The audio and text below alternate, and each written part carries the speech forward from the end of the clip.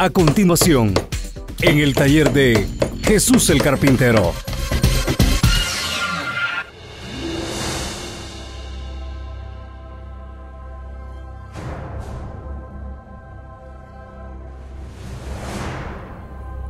¿Ya lo tenemos? Les voy a leer en la Biblia Reina Valera, que es la que casi todos ustedes tienen. Y dice así, en la Biblia Reina Valera, en Lucas capítulo 17, versículos 20 y 21. Antes de empezar a leer, aparece una inscripción en letra negra que dice la venida del reino. En el verso 20 dice, preguntado por los fariseos, ¿cuándo había de venir el reino de Dios? Les respondió y dijo, el reino de Dios no vendrá con advertencia, ni dirán, helo aquí o helo ahí porque aquí que el reino de Dios está entre vosotros. Nada más eso. Puede tomar su asiento y ahora le voy a explicar por qué a veces uso otras Biblias. Muchas veces hay hermanos que todavía están fundamentados en lo que se nos dijo hace 30 o 40 años, cuando yo me convertí, si usted leía otra Biblia que no fuera la Biblia Reina Valera, lo criticaban y más que todo, lo condenaban, le decían que estaba usted en una herejía, que no podía leer otra Biblia más que esa. Y hermanos, uno pasa por cada etapa en la vida del creyente que hay veces que hasta los mismos que tanto conocen de la palabra de Dios cometen errores terribles. La Biblia Reina Valera, alguien fue a los escritos originales y tradujo a nuestro idioma.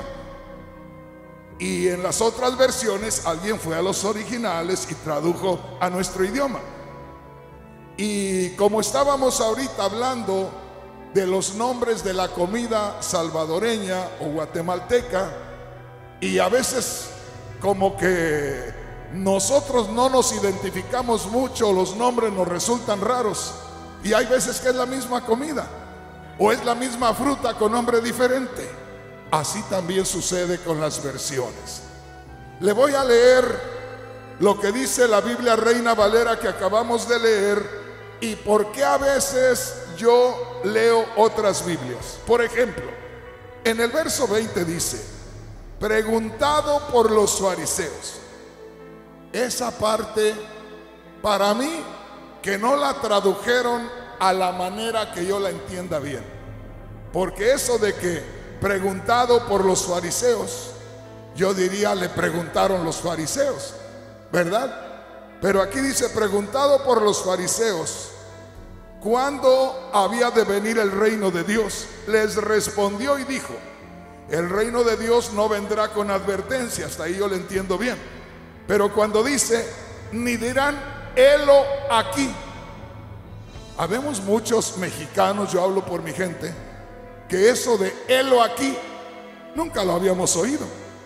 Y no tenemos tanto estudio. Yo aquí quiero enaltecer a mi mujer en esta área. Yo la oigo que hace sus oraciones y saca tantas palabras tan bonitas que me emociono.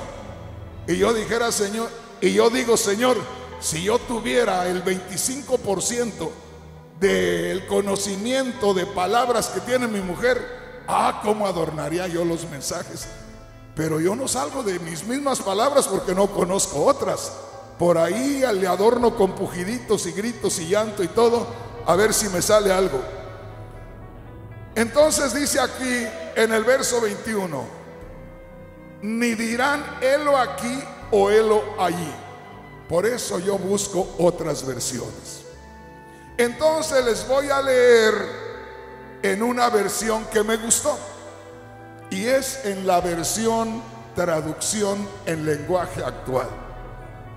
Que dice así. En el verso 20, Lucas 17, 20, en la Biblia traducción en lenguaje actual.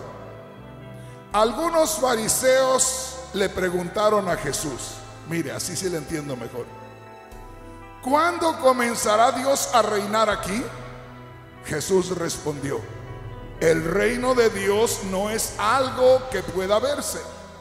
Tampoco se puede decir, aquí está o allí está, porque el reino de Dios ya está entre ustedes. Gloria a Dios. Hermanos, hermanas, dese cuenta, no me pierda de vista cada día con el mensaje que le voy a compartir y dese cuenta cuánto tenemos que aprender de la palabra de Dios. ¿Y qué vamos a hacer si solamente tenemos dos o tres días a la semana? Prácticamente no vamos a aprender nada en el tiempo que pasemos acá. Si estando todos los días nos damos cuenta que entre más le movemos, más sale. Entonces, ¿qué pasará si tenemos solamente dos o tres días? Pero gracias a Dios que aquí tenemos todos los días, eso nos trae mucha bendición. Gloria a Dios. La pregunta es, porque al tema de hoy le he titulado, ¿cuál es el reino de Dios que conoces tú? Fíjate bien, ¿cuál es el reino de Dios que conoces tú? Esta es una pregunta con base en varias cosas que han acontecido en la Biblia. Y esta es una pregunta con varias cosas que nosotros estamos viviendo a cada día. Y aquí nosotros podemos descubrir que los judíos se acercaron a preguntarle al Señor acerca del el reino de Dios. Y es que Juan el Bautista comenzó, fue el primero. Y hermanos, hablar de Juan el Bautista a mí siempre me ha impresionado, porque era un hombre que no estaba familiarizado con la sociedad. Era un hombre de la montaña, era un hombre del desierto, tan rudo, tan diferente, que dice la Biblia que lo único que traía era un pedazo de cuero de camello, cruzado acá y se lo amarraba con otro pedazo de cuero. Se ataba la cintura con otro pedazo de cuero. No era un hombre común de ver. No era un hombre que se veía normalmente. Era una persona rara. Pero era una persona que cuando apareció ya entre la gente, hermanos, causaba terror. Yo oigo por ahí a muchos que ahora ya son profetas. Y yo los conozco. Y nunca me impresionaron, menos ahora. Nunca me asustaron, menos ahora. Y ahora ya son profetas. Y se califican como los profetas del Antiguo Testamento y dicen que ellos hacen descender oro. No sé si ha escuchado usted por ahí. Hay quienes van de iglesia en iglesia y dicen, contráteme porque yo hago que caiga oro. Y yo digo, si tú haces que caiga oro, no te veo aquí en ninguna parte. Porque si andas acá, andas viendo a ver qué sacas de la ofrenda y todo eso. Pues si sabes hacer que baje oro, ¿dónde te vamos a ver en la iglesia? Pero eso lo vamos a dejar por un lado. Le digo que el profeta de aquellos profetas, si usted lo veía venir hacia usted, era para que le temblaran las piernitas. Porque hay Dios, ¿qué juicio traerá el profeta contra mí? Era para temblar, hermanos. Era algo tremendo. Y de pronto, yo aquí es donde usted debe, yo quiero que aquí usted ponga atención. Todo estaba muy tranquilo. Como decimos, todo estaba muy normal. Pero viene un anormal a la sociedad de ese tiempo, Juan el Bautista, raro en su mensaje, raro en su vestimenta, raro porque no había otro como él. Y aparece de pronto y empieza a gritar, arrepiéntanse porque el reino de los cielos se ha acercado. Vuélvanse a Dios, denle la, denle la cara a Dios. Van dándole la espalda a Dios. Pero aquí lo más tremendo, hermanos, es que no estaba hablando con los judíos sencillitos, los que no tenían estudio, los que se dejaban manejar fácilmente como nosotros, la gente sencilla de México, que cualquier cacique por ahí nos traía controlados.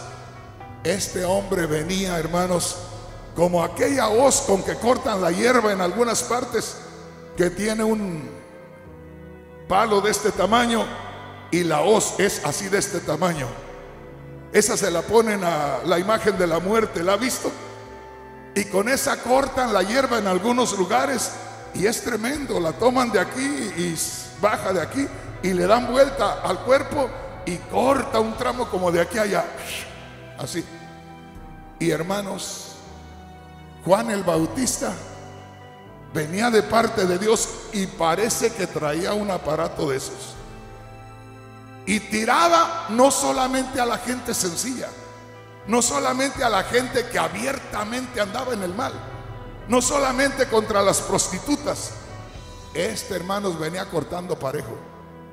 Ahí se encontraban los fariseos, que los fariseos se identificaban así, que quiere decir santos, los más cercanos a Dios. Pues a esos los cortaba. Fíjese, a los santos, a los separados solo para Dios, solo para el servicio de Dios, diferentes a los demás. Y Juan cortando, arrepiéntanse, que soy fariseo, arrepiéntase. Y lo cortaba por mitad, hablando simbólicamente. Pero que soy un escriba, los que vengo a traducirles la escritura, vengo a interpretarles la escritura de los grandes y apenas decía, soy un escriba y lo cortaba por mitad. Vámonos. O sea, le estaba hablando simbólicamente. Que soy un fariseo y vámonos con la cuchilla aquella. Que soy un escriba, soy el intérprete de la escritura y ¡pum! pasaba también. Y salía el sacerdote, soy el sacerdote del templo, ¡pum! también. Yo soy el que hago los sacrificios acá, los que, el que estoy delante del pueblo y ¡pum! todos hermano, iba cortando parejo. Arrepiéntanse porque el reino de los cielos se ha acercado. Por eso es que hablando Juan el Bautista del reino de los cielos y empezando el Señor Jesús a hablar del reino de los cielos, porque Juan el Bautista venía introduciendo el reino de los cielos y al rey de los cielos. Porque decía, arrepiéntanse porque el reino de los cielos se ha acercado. Y detrás de mí viene uno que es más poderoso que yo. Imagínense si ya veían venir a Juan el Bautista con aquella cuchilla cortando todo, que no respetaba a los fariseos, no respetaba a los separados, no respetaba a los apartados. Para Dios los más importantes los cortaba no respetaba a los intérpretes de la ley, que el Señor después le dijo hipócritas. A todos esos los venía cortando. Y basado en eso, en cuanto Juan el Bautista murió, ¿se acuerda que le cortaron la cabeza?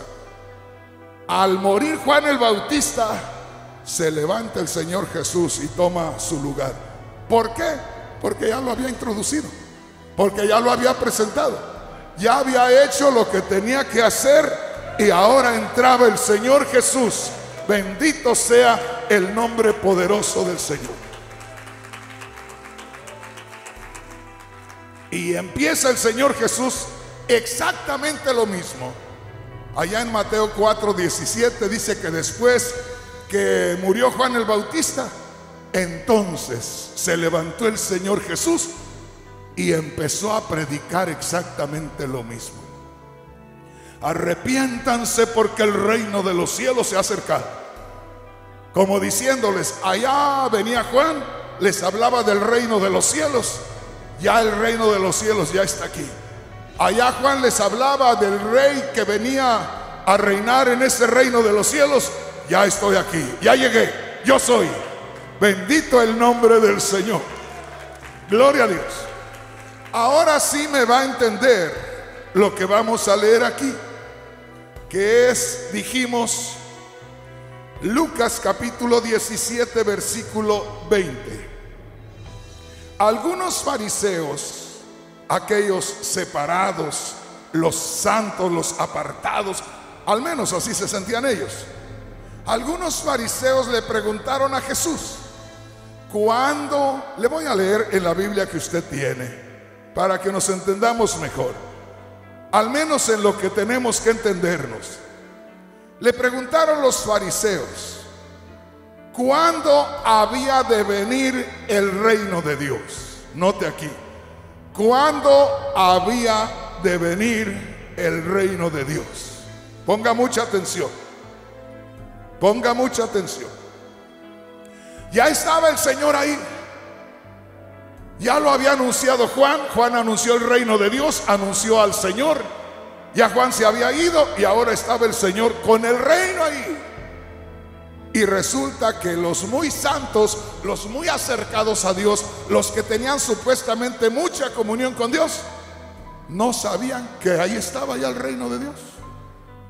¿Cuándo se va a manifestar el reino de Dios? Con eso le estaban diciendo, ni el reino de Dios ha llegado, ni tú eres el rey.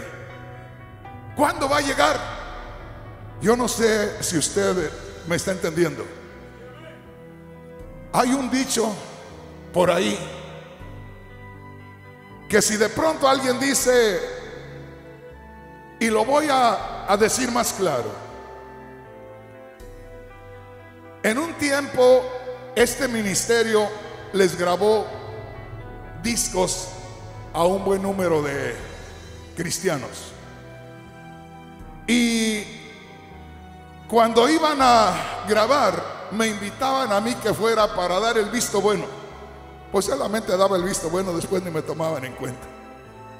Pero iba y por lo que los por lo que saco esto no es porque me quejo de eso, no.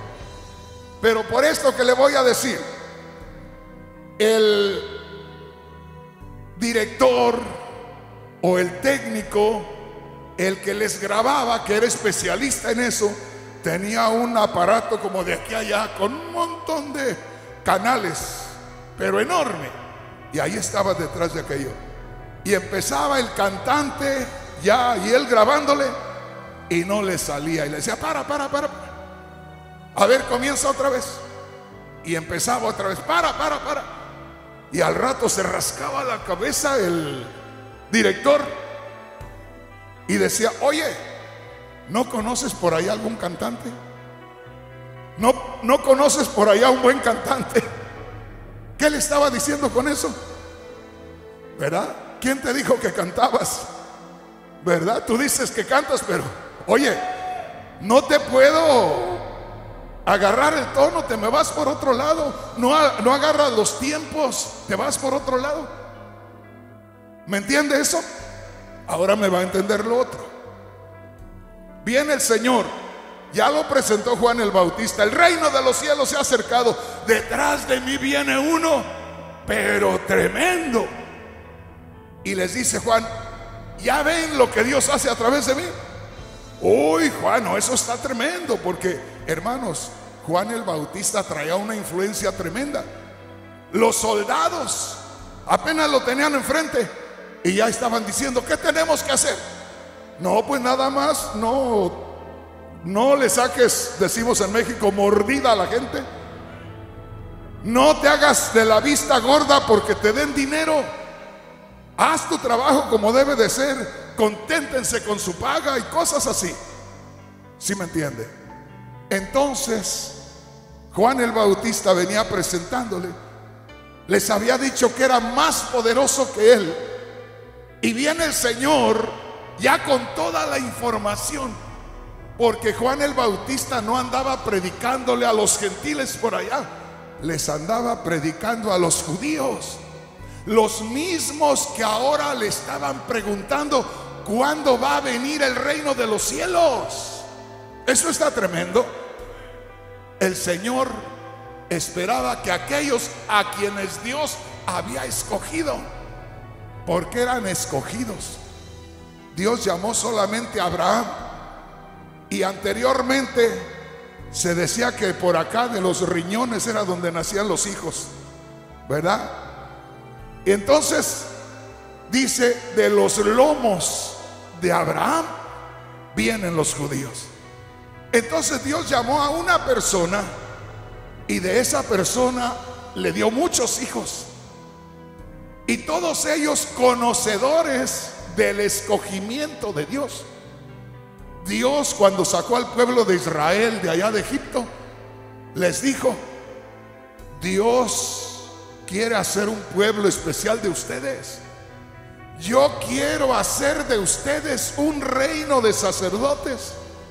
Nada más de ustedes que ahora ya son una nación, yo los hice nación. Y nada más de ustedes me agradé, de los demás pueblos no. Ustedes son especiales.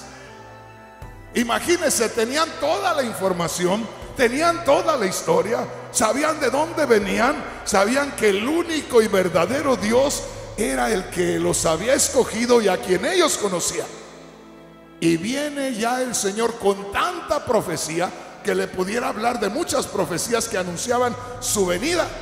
Y sin embargo, cuando viene y están delante de ellos, ya con tanta información de Juan, con tanta manifestación del poder de Dios, porque Juan venía en el mismo espíritu que traía Elías.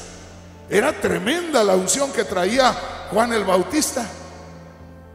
Y cuando el Señor espera que todos le conozcan, vienen este grupo de fariseos que supuestamente eran los más conocedores, los más acercados a Dios, y le dicen, oye, ¿cuándo vendrá el reino de los cielos? Ah, qué tremendo. ¿Me entiende?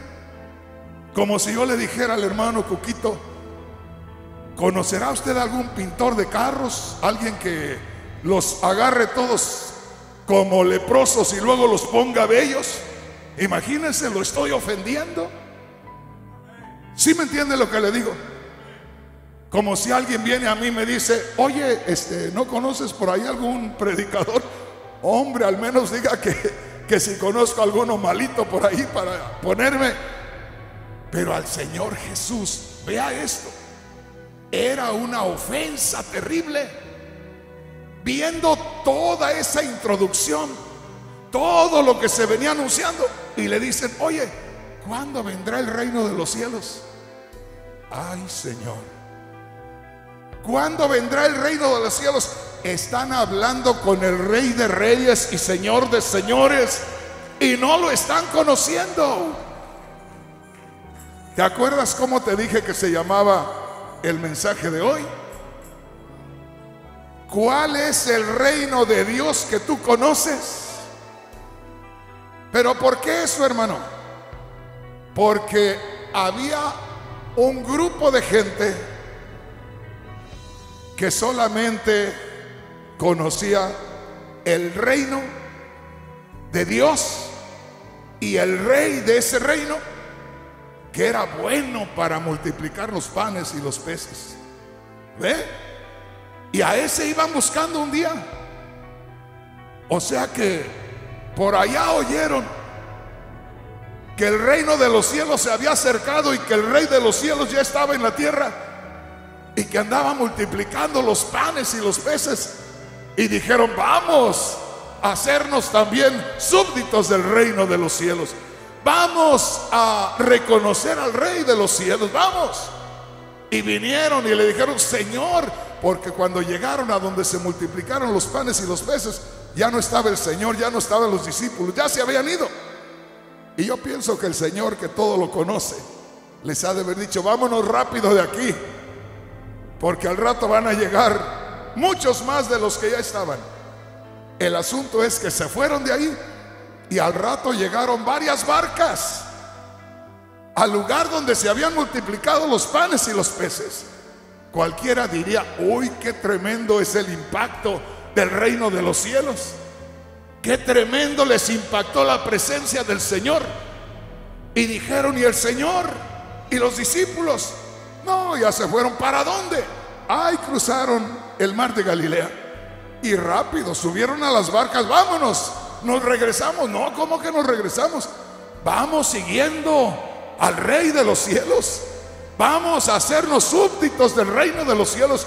Cualquiera diría, qué tremendo impacto el del Señor. El reino de los cielos en un momento va a entrar toda la gente. Miren las multitudes que van. Y se fueron las barcas para donde se habían ido el Señor y los discípulos. Y cuando llegaron allá, los descubrieron. Y se bajaron corriendo, Señor, ¿dónde estabas? Señor, te fuimos a buscar allá, no te encontramos. Y el Señor, hermanos, era como para que se sintiera adulado, se sintiera reconocido. Pero el Señor veía más allá. Y les dijo, ustedes vienen tras de mí porque yo multiplico los panes y los peces. A ustedes no les ha dicho nada todos los milagros que yo he hecho. Los milagros que he hecho están identificando al reino de los cielos. Son señales del poder de Dios ante las cuales ustedes deberían de caer de rodillas al ver aquellos milagros y decir el reino de Dios está entre nosotros. ¿Qué quiere el rey? ¿Qué es lo que se le ofrece al rey? ¿Qué manda el rey? Aquí estamos a sus órdenes. Pero nada de eso. Y les dijo el Señor, ustedes no han descubierto la razón de los milagros. Ustedes buscan un reino de los cielos que les dé de comer gratis, free, ¿Eh? comida gratis. Sí, hermano. Mire, hermano, yo conozco la iglesia, he trabajado en la iglesia desde el año 78. Comencé con la primera iglesia en el 78. ¿Cuánto tengo conociendo a la iglesia? Y no falta gente que viene constantemente. Y a mí me dice, hermano Rodríguez, usted es el pastor. Sí, ay, gloria a Dios, qué bendición. ¿Cómo ansiaba conocerlo, hermano Rodríguez? Gloria a Dios. Y yo digo, ay, Señor, qué bendición. ¿Verdad? Alguien que viene a congregarse, a recibir palabra. Y después que me llena de flores, me dice, ¿sabe qué, hermano? Pues yo hace meses que no trabajo. Es más, no hace meses, ya tengo como dos años, no puedo encontrar trabajo. Y sabe que ya, ya debo como cuatro meses de renta. Y yo he venido, hermano, como ustedes son gente de Dios, gente que tiene misericordia. Y yo he venido a ver si me pueden ayudar con los cuatro meses de renta. Y yo le digo, ¿sabe qué? Aquí predicamos la palabra de Dios. Y aquí predicamos salvación. Y aquí estamos creciendo a cada día espiritualmente. Si usted necesita ayuda, busque ahí en los, las ayudas que da el gobierno. A ver qué le dan por ahí. Pero aquí nosotros estamos para dar la salvación por gracia, gratis. Si quiere salvación gratis, quiere que oremos por usted gratis, todo es gratis, pero no podemos nosotros presentar al reino que solamente está supliendo lo material. No sé si me explico. Yo conocí a una hermanita al principio de el ministerio que ya les he dicho, ella tenía problemas con la vista y cada día se iba poniendo más mal. Y siempre esperaba que cada noche orábamos. Y yo para complacerla oraba todas las noches. Y hermanos, pasaban meses y pasaron años. Y es muy triste cuando usted ve a la persona que sigue pidiendo lo mismo y uno sigue orando y nada pasa. Y yo le decía, Señor, ¿qué pasa? Yo veo a mucha gente que recibe sanidades más tremendas que lo que tiene la hermana. ¿Qué pasa? Y llegó el día que me dijo el Señor, es que ella ni pone atención en la enseñanza por estar esperando su sanidad.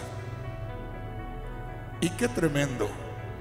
El Señor dice, busquen primeramente el reino de Dios. El reino de Dios es espiritual en este momento.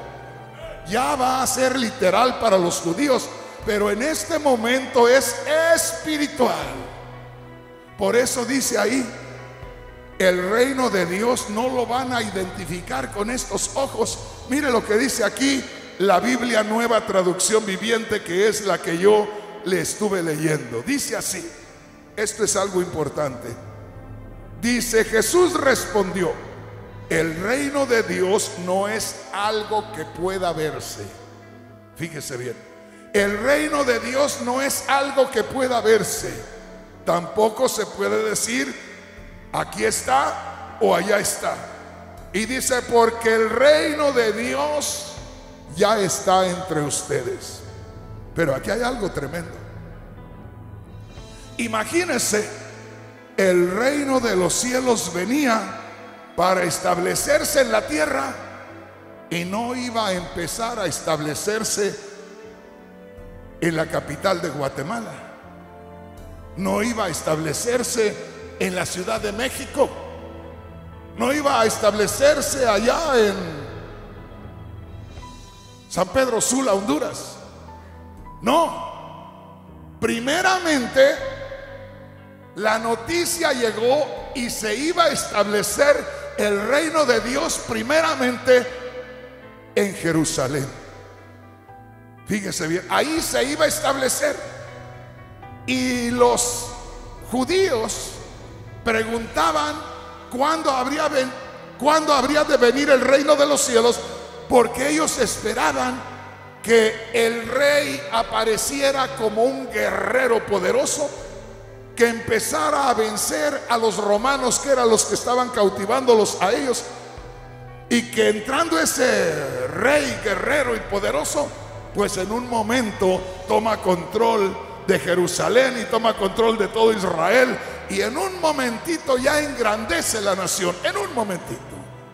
Pero ya tenía tiempo que andaba para ellos el supuesto rey y no hacía eso. Por eso dijeron, ¿cuándo pues se va a establecer el reino de Dios? Note aquí.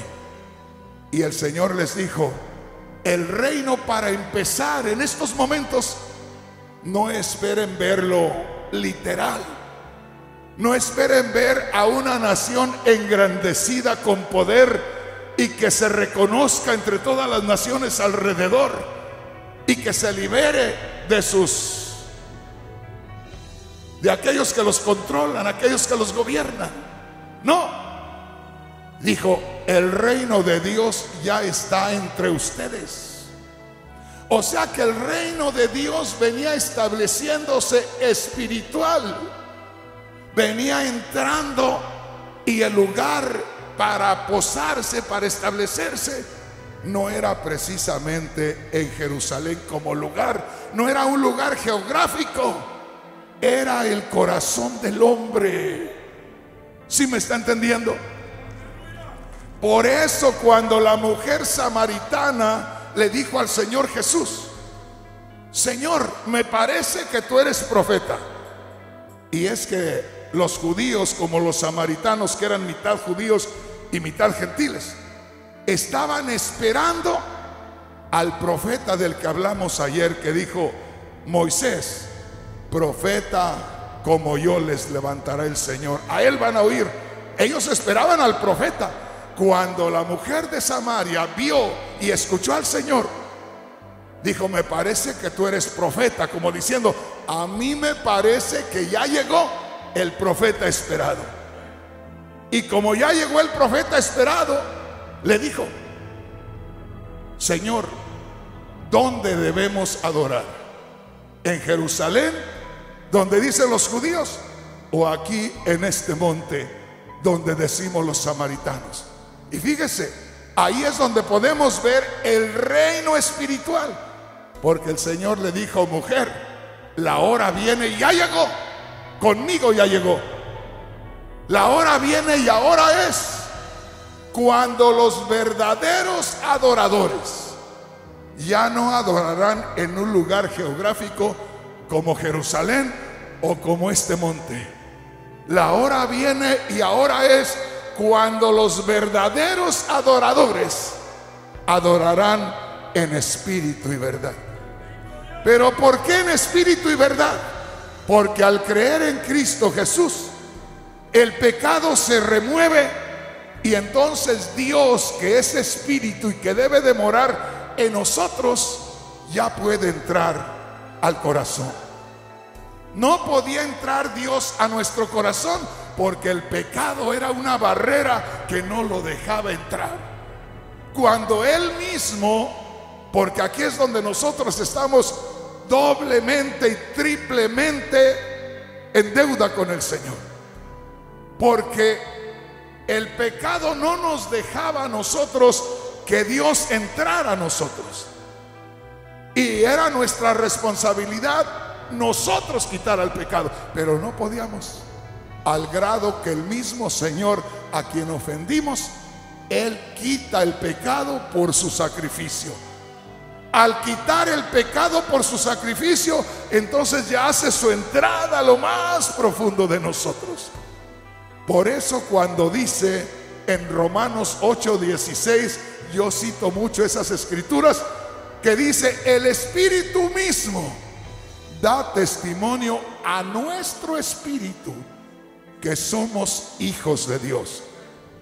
Lo cual quiere decir, ya somos recibidos en el reino de Dios, porque dice por allá en Juan 1:12, a los que le recibieron a los que creen en su nombre, les dio potestad de ser hechos hijos de Dios. Y si somos hijos de Dios, somos hijos del rey. Y si somos hijos del rey, ya estamos tomando parte en el reino espiritual de Dios. ¿Estamos entendiendo? Ya vamos entendiendo. Volviendo al punto de aquellos judíos, porque eran judíos los que buscaban los panes y los peces. Venían buscando solamente llenarse la barriga, solamente suplir las necesidades físicas. El Señor no venía, se los dijo claramente, Dijo, yo soy el verdadero pan que bajó del cielo. Dios les dio en el desierto el maná, aquellas como hojuelas que caían del cielo, cositas pequeñitas, pero que al reunirlas se hacía algo espeso y fuerte y sólido y que saciaba. El Señor les dijo, allá en el desierto, ¿se acuerdan que Dios les hizo llover aquel pan menudito? Pues era para darles una idea que un día bajaría el pan del cielo. Y les dijo el Señor, yo soy el verdadero pan. Yo descendí del cielo. He venido para darles vida, pero no para hacerlos subsistir o no para hacerlos que ustedes se mantengan con esa vida física que tienen. He venido para que coman de mí. Y aquí es donde entra aquella otra enseñanza, donde dice, el que come mi carne y bebe mi sangre, tiene vida eterna. Por eso los judíos, hermanos, no tenían la revelación de Dios porque no la buscaban, porque no la querían, porque no se humillaban delante de Dios. Ese es todo el asunto. Por eso el Señor les tuvo que decir, si comen mi carne y beben mi sangre, tiene vida eterna. Y hermanos, se hicieron como cuando decimos nosotros los mexicanos, hicieron unos gestos horribles y dijeron que qué, qué dice ese hombre, que me lo voy a comer. ¿Cree que soy caníbal? ¿Cree que soy esas personas o esos indígenas allá que se comen a las mismas personas que capturan? ¿Qué crees de que me voy a comer su sangre? ¿Qué crees de que me voy a comer su carne? Y luego su sangre cuando se esté derramando, me la voy a tomar. Mire hasta dónde llegamos cuando no nos humillamos delante de Dios. Por ahí en Juan 6, 47 dice, el que cree en mí tiene vida eterna. Hablando de comer su carne y beber su sangre, más adelante dice, el que cree en mí tiene vida eterna. Lo cual, comer su carne y beber su sangre simboliza tener fe en su sacrificio, donde su cuerpo sufrió el martirio, donde se derramó su preciosa sangre. Gloria a Dios. Venga conmigo y leamos esa escritura que le acabo de decir para que la entendamos mejor. Le cité hace un momento en ah, Juan, me gustaría ver Juan capítulo 6, versículo 23 al 27. Mire lo que dice ahí, hermanos. Les voy a leer en la Biblia nueva traducción viviente. Me gustan a veces, como le digo, algunas Biblias porque su lenguaje es más fácil para mí de entender y a poco para otros también. Yo voy a leer esta Biblia y usted vaya cotejándola ahí con la Biblia que tiene. Juan 6:23 dice en la Biblia Nueva Traducción Viviente. Varias barcas de Tiberias arribaron cerca del lugar donde el Señor había bendecido el pan y la gente había comido. Note eso. Varias barcas. Seguramente que venían las barcas aquellas, como las barcas que aparecen llenas de gente que viene de otro país en estos días a los países a donde quieren pedir asilo, llenas, repletas, que se venían casi hundiendo. Dice, varias barcas de Tiberias arribaron cerca del lugar donde el Señor había bendecido el pan y la gente había comido. Es decir, vinieron varias barcas repletas de gente al lugar donde el Señor multiplicó los panes y los peces. ¿Qué buscaban? Venían directo a una sola cosa, ¿verdad? Pues en lugar de trabajar, vamos y que multiplique los panes y los peces, ¿a poco traían hasta en qué llevar la comida? Y dice el verso 24, cuando la multitud vio que ni Jesús ni sus discípulos estaban allí, mire, se preocuparon. Venían decididos a encontrarse con el Señor. Y dice, subieron a las barcas, cuando no lo encontraron, subieron a las barcas y cruzaron el lago hasta Capernaum para ir en busca de Jesús. Estaban decididos a comer. Estaban decididos a comer. Oiga, ¿y cuántos cristianos en estos días habrá que andan así? O porque le duele una cosa y no fallan a la iglesia. O porque no le alcanzaron los pesos que ganó para pagar las deudas. Y hay que buscar a Dios o a los hermanos. ¿Me entiendes? Y así, acá venía esta gente buscando al Señor, pero solamente para ver si seguía multiplicando los panes y los peces. Y dice, se fueron en busca de Jesús, verso 25. Lo encontraron al otro lado del lago y cuando lo encontraron le preguntaron, Rabí, ¿cuándo llegaste acá? Mire, buenos para abrir la conversación. En cuanto lo vieron, lo saludaron. Gloria a Dios. Gloria a Dios en las alturas. Bendito el que viene en nombre del Señor. Como dicen por ahí, le dieron por su lado. ¿Verdad? Lo saludaron muy efusivamente. Rabí, ¿cuándo llegaste acá? Te hemos andado buscando. Queremos ir contigo, Señor. Somos de tu bando, somos de tu grupo. Estamos contigo, Señor. Qué tremendo, ¿verdad? Cuenta con nosotros, Señor. Aquí estamos, Señor, para formar el pueblo que tú estás levantando. Verso 26. Jesús contestó, les digo la verdad, ustedes quieren estar conmigo porque les di de comer, no porque hayan entendido las señales milagrosas. Oiga, qué tremendo. Ustedes me van siguiendo porque les di de comer gratis. No porque entendieron las señales milagrosas. ¿Cuántas señales milagrosas no hemos visto en este ministerio? ¿Cuántos testimonios escuchamos constantemente de hombres y mujeres que le dan gloria a Dios por haber hecho un milagro que ni siquiera le han dado resultados positivos los médicos?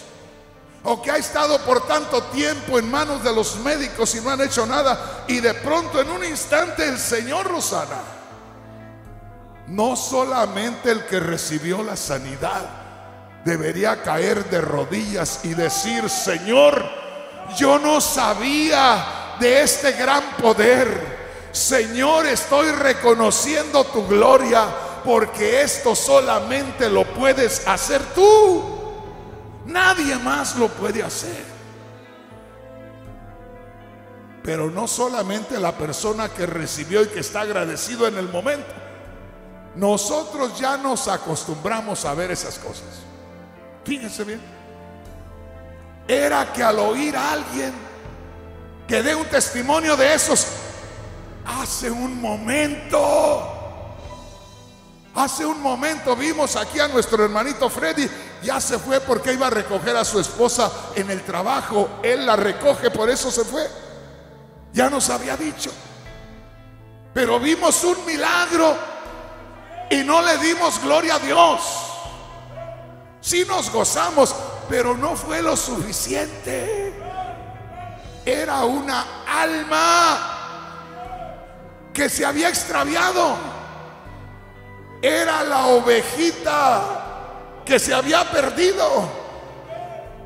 Y que el mismo Señor dice, dejé las 99 allá y me fui por la que se había perdido. No sé si me explico, hermano, hermana. Creo que el Señor nos ha traído al hermano Freddy en este día para reconciliarse con el Señor. El Señor nos lo trajo exactamente para lo que estamos viendo hoy. Yo lo conocí al hermano hace unos días, no sé si fue el domingo o el sábado. Y estuvimos platicando y me dijo, hermano Rodríguez, yo necesito reconciliarme con el Señor. ¿Qué me dice? Y yo le digo que ya está acá. Ya está con deseos de alabar a Dios. Pues ya para qué tanta cosa. Pues ya nada más siga ya no se detenga, ya no se salga, ya no se aparte, ya entró, ya cuál es el problema. Lo demás viene siendo solamente cosas que uno aprende por ahí, pero ya usted siente volverse al Señor, ya el Señor empezó la obra, ya nada más no deje que se caiga el trabajo del Señor. Pero el hermano, hoy que llegué, me dijeron, hermano Rodríguez, dice el hermano Freddy, que si pudiera hacer la oración de reconciliarse con el Señor aquí en la iglesia, que Él quisiera, que si puede, claro que puedo, pero no era por Él, era por nosotros, era por usted y yo.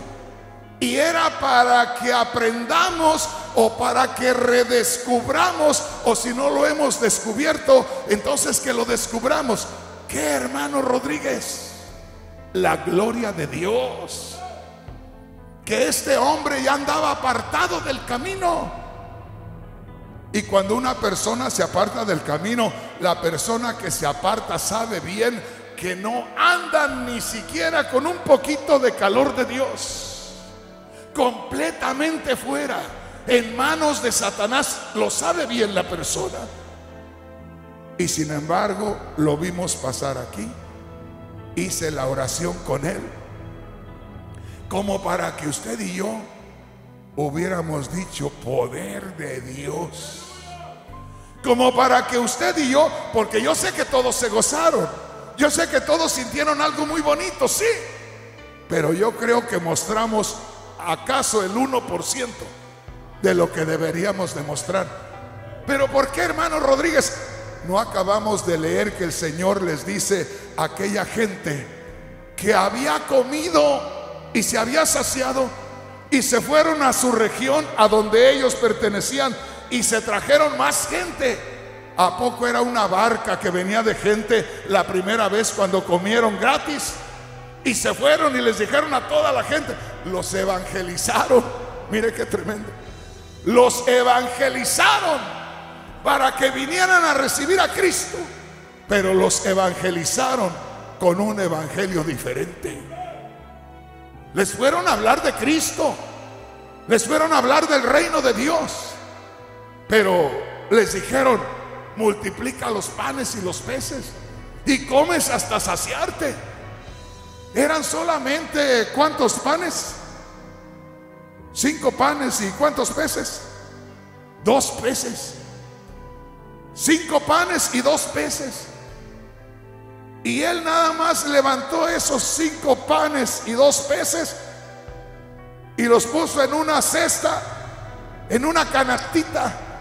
Y se empezó a ver que aumentaba el número. Y él metía la mano y lo sacaba. Y seguía saliendo. Y al final todos comimos hasta más no poder. Y seguían todavía. Y el Señor empezó a sacar y empezó a poner en otras cestas. Y al final sobraron doce. Yo creo que les dijo el Señor a cada uno de sus discípulos, a ver, ahí quedó para ustedes, para que aprendan. ¡Qué tremendo! Fíjese bien. Y dice el Señor, me están siguiendo porque lo que ustedes vieron es lo que se puede ver. Pero no pudieron reconocer el reino que no se puede ver. Me siguen por lo que pudieron ver, por lo que pudieron aprovechar para este cuerpo inmundo que se va a quedar en esta tierra. Porque hermanos, es la verdad. Así le demos de comer las comidas más deliciosas del mundo. Huele igual de horrible cuando se muere la persona. Igualito. Y yo le digo, hermano, si una vez pasó usted por donde estaba un animal muerto. Huele horrible. Pero déjeme decirle, a mí se me hace que un animal muerto, a mí se me hace que un animal muerto huele mejor que cuando un hombre, un ser humano muere. Yo no sé, pero cuando yo estuve en los velorios que había antes, cuando no los limpiaban allá en los pueblos en México, así como morían, así los tendían en una mesa ahí. Y ahí los tenían y querían tenerlos porque no querían separarse de sus muertitos y los tenían hasta tres días. Para el segundo día, hermano, aquello olía terrible. Ponían al difunto en la caja y abajo ponían una vasija ahí para que cayera la cosa horrible y aquello olía terrible. Entonces lo que quiero decirle con esto es que nosotros, humanamente hablando, estamos mirando lo que es de beneficio para el cuerpo, un cuerpo inmundo que aquí se va a quedar. Y no estamos descubriendo las cosas espirituales que permanecen por la eternidad. Por eso dijo el Señor, trabajad, fatíguense, trabajen, no por la comida que perece. Y dice que multipliqué los panes y los peces, sí los multipliqué. A ver si al ver que los panes y los peces se multiplicaban, ustedes reconocían a Dios y caían de rodillas y le pedían perdón por sus pecados y eran aceptados en el reino de los cielos espiritual que ya se había establecido. ¿Me entiende, hermano? Ahora lo más tremendo es esto, que cuando el Señor escucha a los fariseos que le dicen, Señor, ¿cuándo se va a establecer el reino de los cielos? Y al final les dice, el reino de los cielos ya está entre ustedes. Fíjate bien, pero ellos venían buscando el reino de los cielos. Y el reino de los cielos que ellos venían buscando, no era tiempo que se estableciera todavía. Cuando tú leas Apocalipsis 19, ahí va a aparecer el Mesías guerrero y poderoso, que viene a destruir a la humanidad incrédula y desobediente y a establecer su reino con Israel. Todavía no era tiempo ahí cuando vienen ellos. Era tiempo que se estableciera el reino de los cielos espiritual. Era tiempo que Él muriera en la cruz del Calvario para borrar el pecado de los corazones, para que sucediera lo que dice segunda de Corintios 5:17, de modo que si alguno está en Cristo, nueva criatura es, las cosas viejas pasaron, he aquí todas son hechas nuevas. Oiga bien, ellos venían buscando los panes y los peces. Los fariseos le preguntan acá cuándo se va a establecer el reino de los cielos.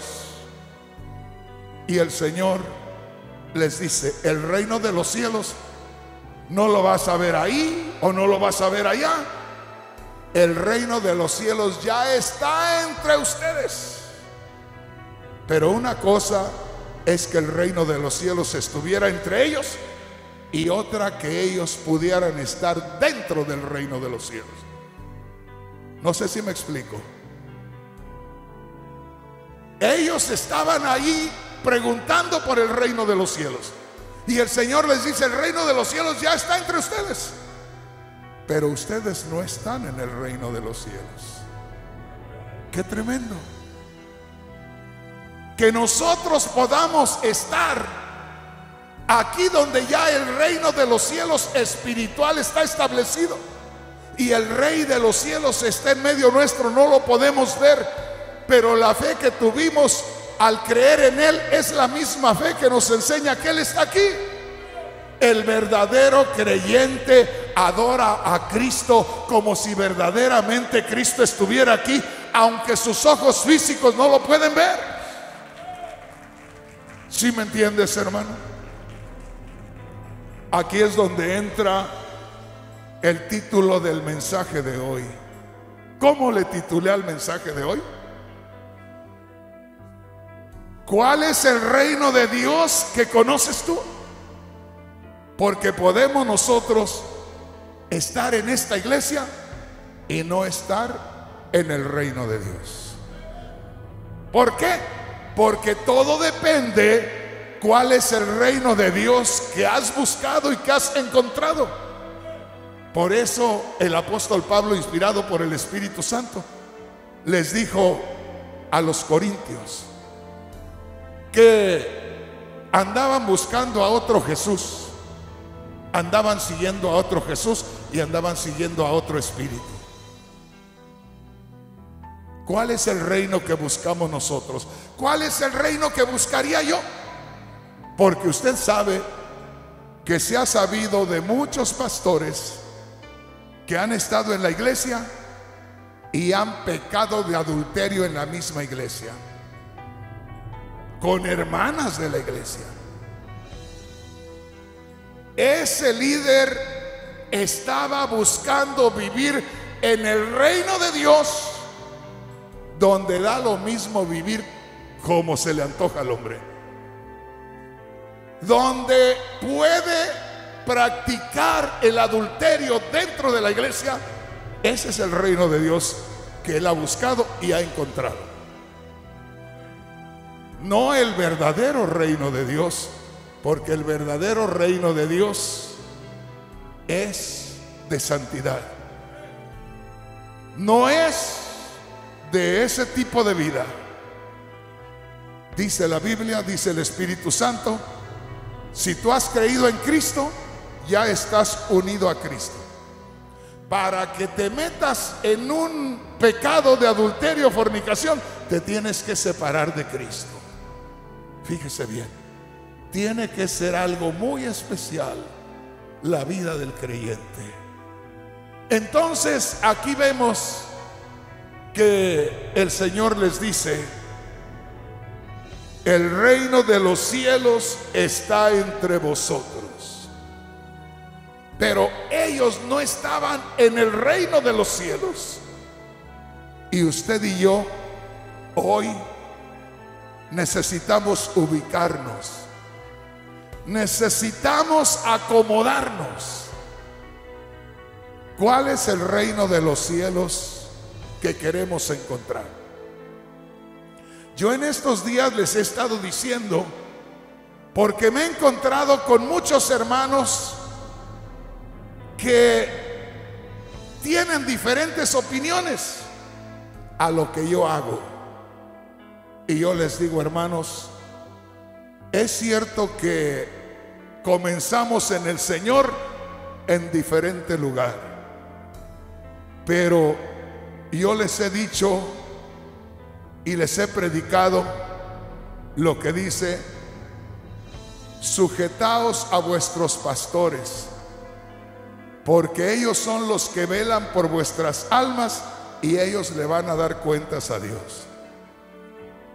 Y yo debo de saber por dónde nos vamos. Y si usted ve que no he sido tan mal pastor, pues entonces venga conmigo. Y no me opine. Pero ¿por qué, hermano Rodríguez?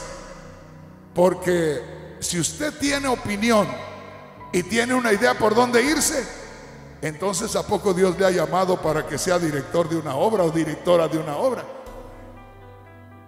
Entonces no necesita quien le guíe, porque usted ya sabe por dónde irse. No sé si me explico. Y si sabe por dónde irse, ¿para qué nos estamos entreteniendo dos aquí? Si ya sabe por dónde irse, hay multitudes que van por el camino del error. Por ahí hay un lugar donde usted puede empezar a trabajar con la gente y al rato ya tiene una tremenda iglesia. Y si dice, hermano Rodríguez, yo siento que todavía no es tiempo, pues entonces véngase ahí a una vista. En un tiempo vino a nuestra iglesia como a los siete u ocho años que teníamos de haber empezado la iglesia vino con nosotros un joven de la iglesia donde yo empecé.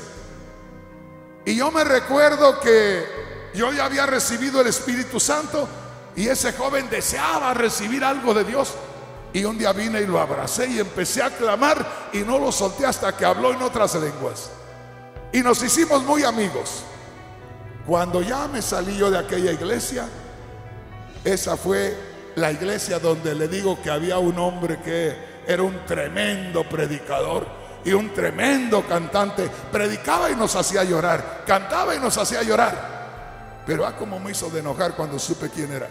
Era un tremendo sinvergüenza que llegaba a una iglesia y echaba ojo a ver sobre quién se iba y no paraba. Como era tan buen predicador, tan buen cantante y no estaba mal parecido. No, pues rápido, caían rendidas a sus pies y engañaba a una mujer, se daban cuenta y los sinvergüenzas de los pastores lo ocultaban. Y ya era tiempo que se fuera a otra iglesia y que lo ocultaran allá. Hermano, estaban metiendo a un lobo hambriento, a un lobo de esos que traen acá pegado el cuero de este lado con el cuero de este otro lado que se andan trozando de hambre y lo meten entre el rebaño, pues allá se comía otra. Y cuando yo pregunté, me dijeron, hay que entender a este hermanito, hay que tener misericordia. Él necesita amor, Él se va a curar. Ciertamente ha venido de aquella iglesia y de aquella otra y de aquella otra y de aquella otra y hoy está aquí. Y yo le dije al pastor y al tesorero y al secretario que me los trajeron para que yo no hablara mucho. Y les dije yo, ¿saben qué? Les digo, es increíble que ustedes sean tan ciegos y que lo tengan acá. Y les dije, o lo sacan de aquí, o el domingo cuando esté toda la gente me voy a parar y voy a hablar esto. No llegué al domingo. Me corrieron antes. Gloria a Dios que me corrieron. Y gloria a Dios que no me quedé ahí. Porque hubiera estado de acuerdo en aquel pecado.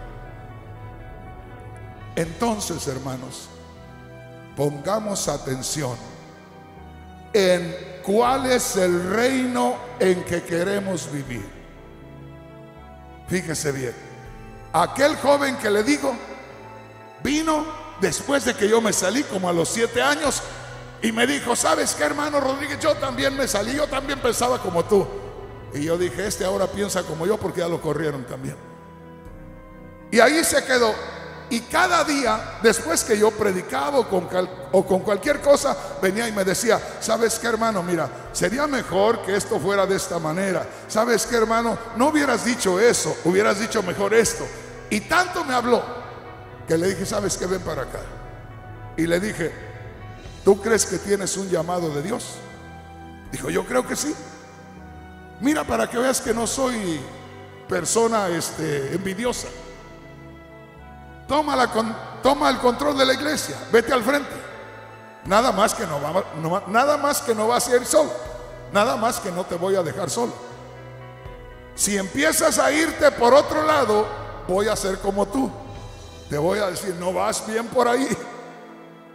No te voy a dejar solo porque sé que no conoces.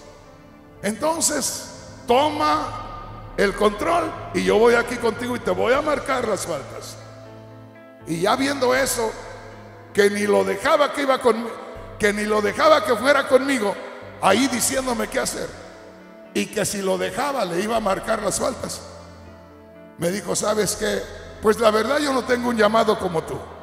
Entonces, vente acá y cállate la boca o búscate otro lugar. Porque yo tengo una responsabilidad con gente de aquí que sí quiere llegar. Y déjame llevarlos. Y es así la cosa, hermanos. Porque muchas veces podemos decir aquí nosotros, es que queremos un reino donde todos gritemos y donde todos opinemos. Y si tú vieras en muchas reuniones de pastores en ciertas iglesias, parece un ring de boxeo. Se dan unas peleadas los reverendos el pastor y los ministros, nadie se respeta. Salen de allá del cuarto, eso sí, muy sonrientes y Dios le bendiga, hermano, paz de Cristo, gloria a Dios. Mentira, allá estaban peor que mundanos. Hay ministerios, hermanos, que cada cierto tiempo hacen elecciones para poner al que ha de ser el presidente de toda la organización. Y déjame decirte, por años están tramando a ver a quién van a poner ahí. Y eso está peor que la política del mundo.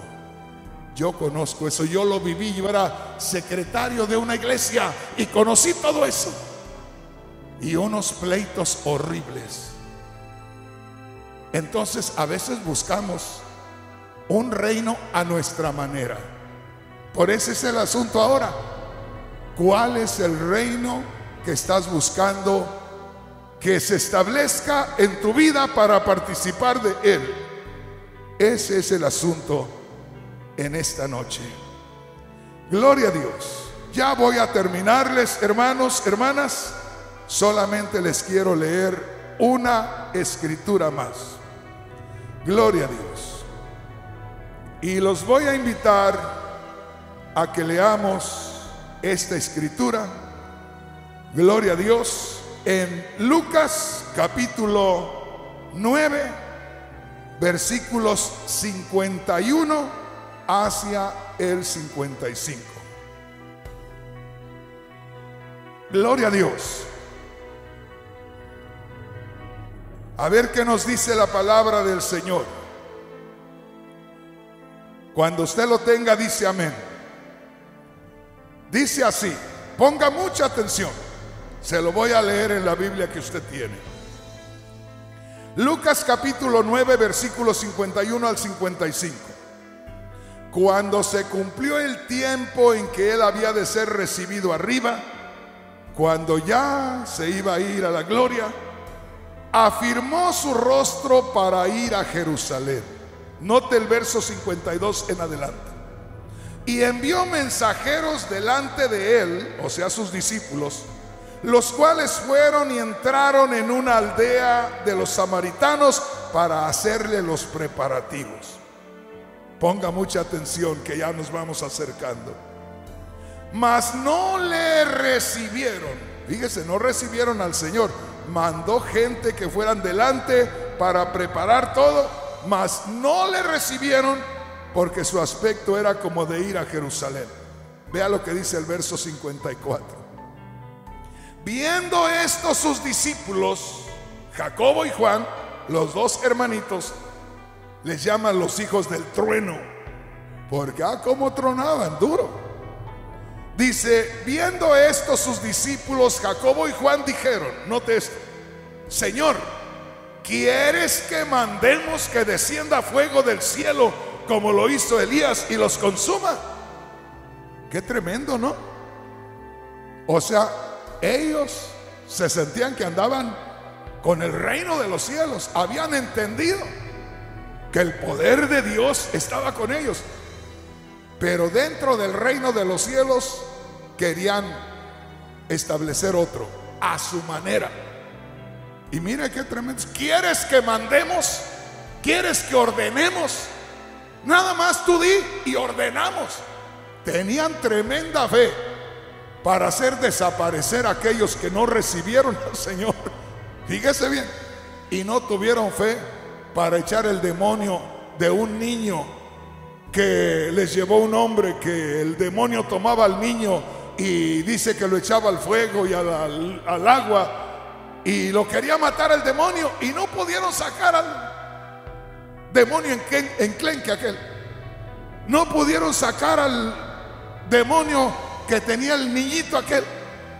Le voy a decir un demonio que sin chiste decimos nosotros. Un demonio desnutrido ahí, no lo podían sacar.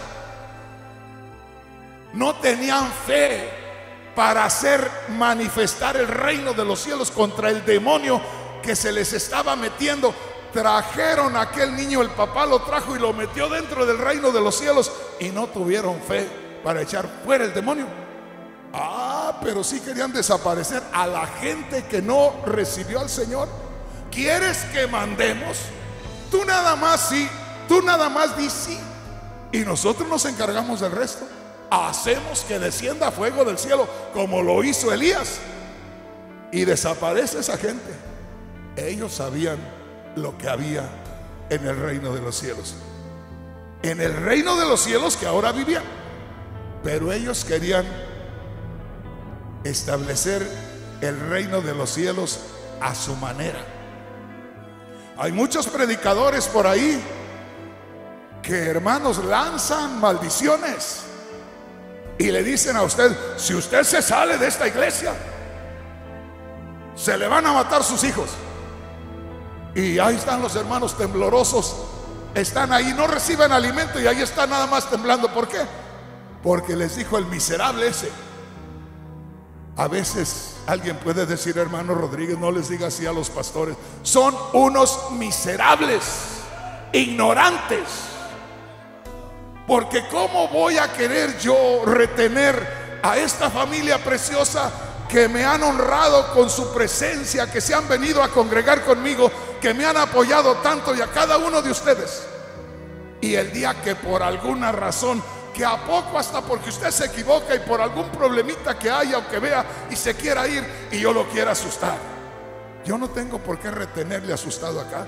Es más, asustado ni me sirve. Yo quisiera retenerlo acá como mi hermano, que luchemos juntos, que lloremos juntos, que cantemos juntos, pero no me gustaría tenerlo como un esclavo. Entonces no podemos establecer nuestro reino en el reino de Dios. Y hay mucho más tela de donde cortar. Pero yo creo que ya no le sigo porque voy a predicarle dos horas. Pero el punto es este ¿Sabemos en qué reino estamos? ¿Cuál es el reino que queremos que se establezca para vivir en él? Porque ahí había un grupo de personas que tenían el reino ya con ellos, pero no lo podían descubrir porque no reconocían al rey. Al mismo rey le dijeron, oye, ¿Cuándo irá a venir el rey? Imagínense qué ofensa. ¿Cuándo se va a establecer el reino de los cielos? O sea que no les importó ni respetaban lo que vieron en Juan el Bautista. Porque Juan el Bautista ya se había muerto. Porque ese Juan era pesado. No era así tan bonachón como el Señor. El Señor era muy noble. El Señor era rara vez que hiciera algo como cuando chicoteó a aquellos que estaban ahí haciendo negocio en el templo. Pero Juan el Bautista sí era pesado. Cuando vio a Herodes allá arriba, que le dijo, estás en pecado con la mujer de tu hermano, te cae la ira de Dios. No le preocupaba nada. Pero ahí se las voy a dejar ya. Mañana le seguimos. Váyase con esta pregunta. ¿Cuál es el reino que yo quiero que se establezca y que me quiero meter en él. Si ya lo entendemos cuál es, métase. Y yo no le digo, hermano, me tiene que obedecer a mí. No, hermano. Yo les he dicho a mis hijos, los que he tenido, cuando ya están en edad de hacer decisiones, yo les digo, ¿saben qué? Si quieren, ¿a poco ustedes les molesta que yo les diga por dónde se van? ¿Y a poco les molesta que yo les diga no vayan para acá o no vayan para allá? Y les digo, vamos a hacer una cosa. Haga de cuenta que no soy su padre. Y no se preocupe por obedecerme. Ni siquiera se preocupe. Obedézcale a Dios. Y con eso hay. Aunque a mí no me obedezca, que yo sé que si obedecen a Dios, vamos a caer en el mismo camino. Así es que hermano, así están las cosas. Póngase de pie y le vamos a dar gracias a Dios porque ya le dimos al Señor otro día de la otra semana de fiesta que le hemos preparado.